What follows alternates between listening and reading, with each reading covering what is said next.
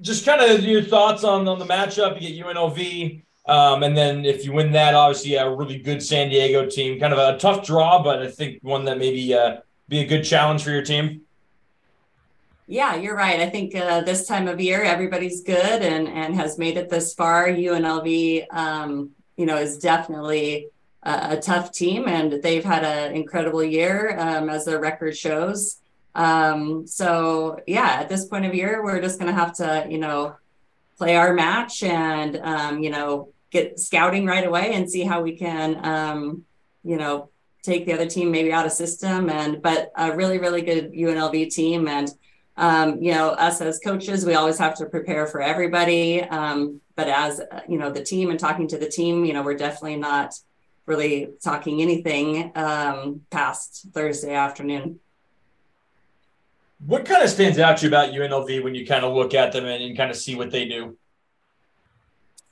Yeah, you know, I, they have a great setter um, in Jenna Gabriel, and um, you know, um, outside hitters that can kind of do everything. And, you know, um, I think a tough serving team as well. So, um, yeah, you know, it's always hard when you haven't seen a team before. You're going into um, a new situation. It kind of takes you back to, you know, first weekend of preseason where you almost have to focus a little bit on yourself and then maybe make some more in-game adjustments um, as you go along the uh, the Pac-12, some of the the awards came out today, and you get two players on the first team with Magda and Pia, and then Katie and Laura also getting uh, honorable mention. Just kind of talk about what they mean to the team, and then for them to get those honors.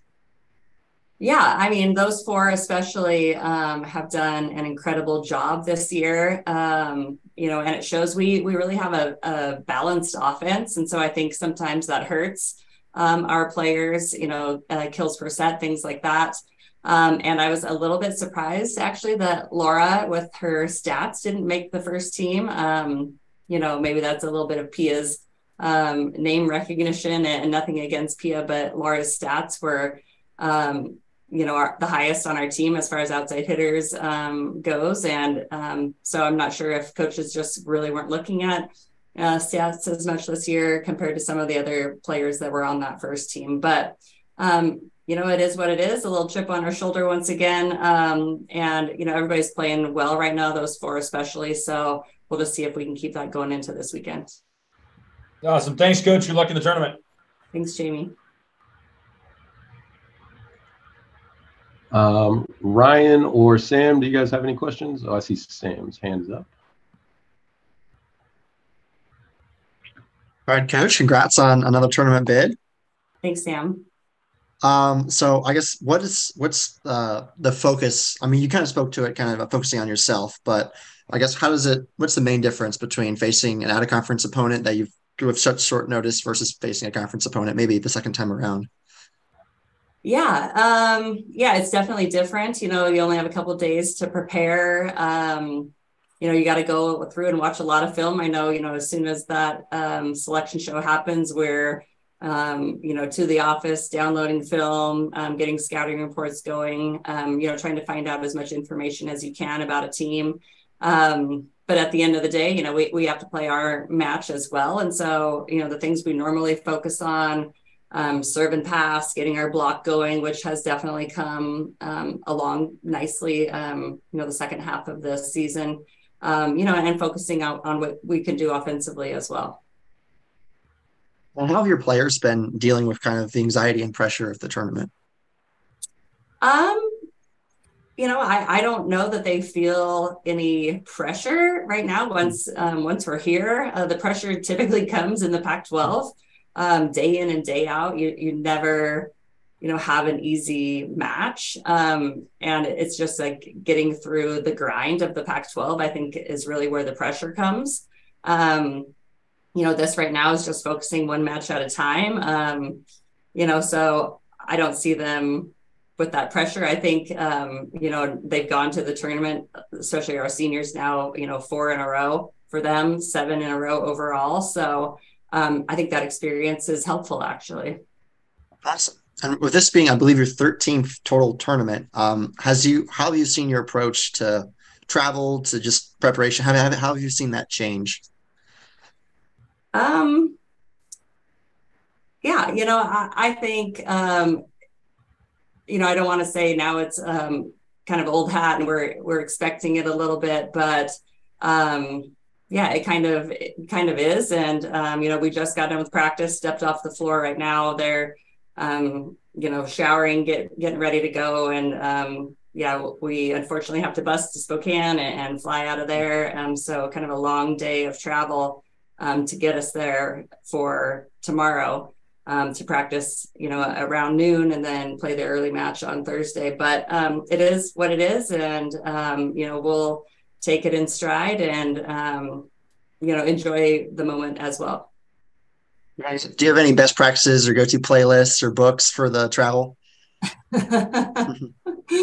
um, it's really the only time that I watch, you know, Netflix or something like that. So, um, yeah, it, it's typically whatever I had downloaded from the last trip that's still on there because I, I never, you know, watch any of that while I'm here at home in Pullman. So, um, but this trip, it's probably going to be some film. So, um, not as exciting as you'd think.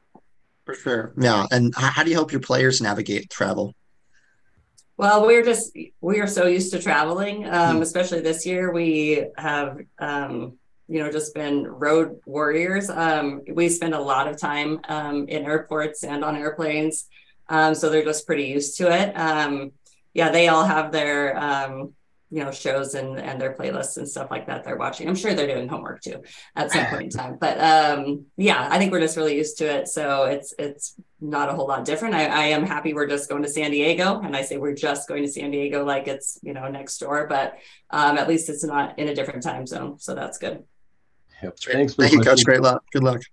Yeah, thanks for the question. Sorry to cut it short, but um, Ryan, you do have your hand up. Um, I will let you get just a couple of questions in, but Coach Greeny does have to get off to a send off here um, at 145. So go ahead and fire off with uh, whatever questions you have for Coach Greeny. All right. Can you guys hear me all right? Yep. Yes. Perfect. Okay, cool. So thanks so much for joining us, Coach. Is there ever really a concern knowing that within the transfer portal that star players can use the portal whenever and maybe leave at any given time to potentially find greener pastures? Um, yeah, in a normal year, yes. Um, in, in this year, I don't think so because since they all announced they were coming back. um, so, you know, uh, we were fortunate enough to get Laura, um, and she's been a huge impact for us um, this year. So, um, you know, we'll probably hit the transfer portal again um, and try and get another outside hitter at least, um, if not um, one more hitter as well.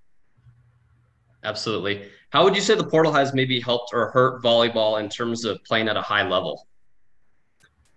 Um, yeah, it's definitely, it used to be a sport where people didn't transfer hardly at all. Um, and now you're seeing that much more. Um, I think, I think it's, it's difficult, um, uh, especially, you know, top teams to, um, kind of stay at the top. Um, I think there's a lot more parity now, um, with the transfer portal.